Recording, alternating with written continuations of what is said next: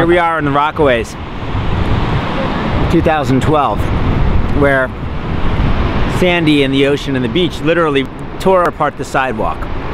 The graffiti in 1968 in Paris said, beneath the sidewalk there was a beach. And now, there is no sidewalk, there is no boardwalk.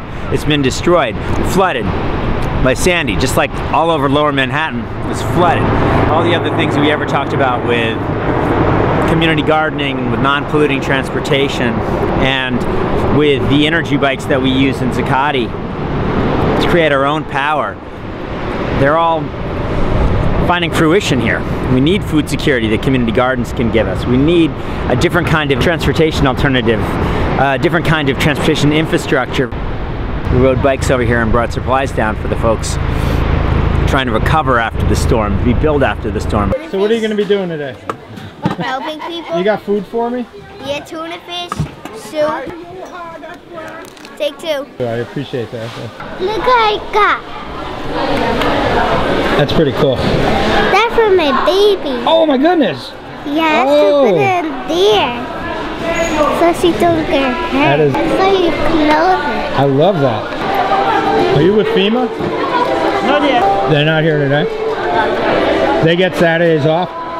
Do you get Saturdays off? No, we never get a day off. Children living in the mall. Children living in the mall. Now you know that ain't right. Now you know that ain't right.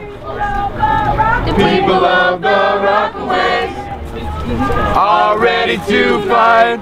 We have people out here that's living in Far Rockaway still don't have lights, still have mold in their house, no heat, no nothing, and people cannot live like this here. It's it's a shame.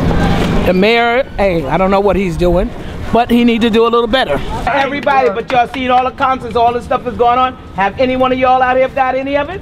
No. Where did y'all see it's going to? Do y'all know where it's going? Have y'all heard where it's going? Turn to channel one and find out.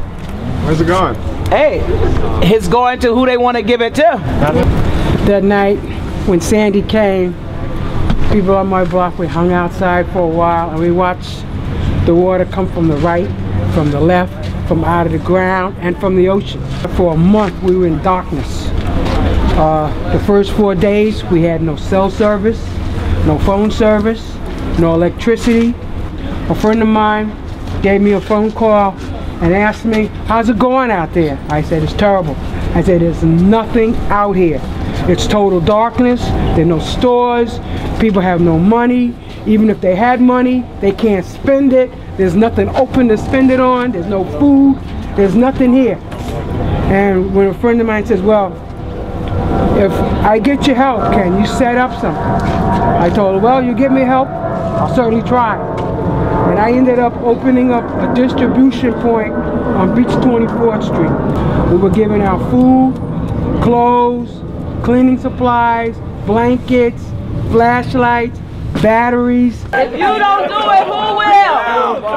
We will, we will carry our tour until our neighborhood feast. Yeah! Yes, and Bloomberg take attention on us. Yes! So we will rebuild. Yes!